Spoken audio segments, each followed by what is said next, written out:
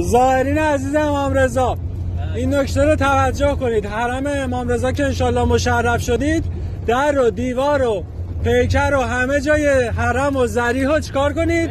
ببوسید. احترام کنید. تو حرم هم به هیچ وجه ماسک نزنید.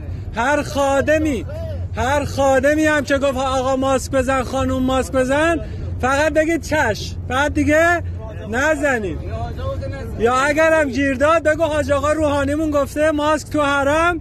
نزنید. اگه گیر داد بگو پس اگه اینجا ماسک بزنیم بیمارستان ماسک بزنیم پس فرقش چیه؟ اگه دوباره گیر داد بگو پیراهن حضرت یوسف شفا میده. ذریع امام رضا که هزاران برابر مقامش بالاتر حضرت یوسف شفا نمیده. خلاصه هر کی بهتون گفت ماسک بزنید گوش نگیرید. ماسک تو حرم به هیچ وجه نزنید. در و دیوار و همه جا حرم رو ببوسید. تبرک کنید. خیالتون راحت باشه که هیچ ویروسی تو حرم و به ذریح امام رضا راه نداره. اگر کسی بهتون گفت که امام رضا خودش با سم شهید شد تو چرا باز بگو امام رضا همه اماما خدا خواسته که شهید بشن. اون قضا و قدر الهیه اون شهادت اون مرگ قضا و قدره.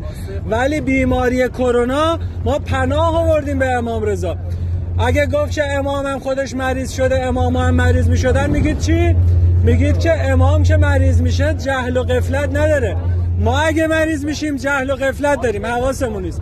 ولی امام اگه مریض میشه به بلای جون شیعیان رو می‌خره. امام اگه مریض میشه مثل امام سجاد برای اینکه جون امام سجاد تو کربلا حفظ بشه. امام کاظم اگه مریض شد به خاطر اینکه بلای شیعیان رو به جون خرید مریض شد. امام زمان اگه مریض میشه به خاطر اینکه بلای شیعیان رو به جون می‌خره که بلا به شیعیانش نخوره. خلاصه این جوابایی که گفتم بدید.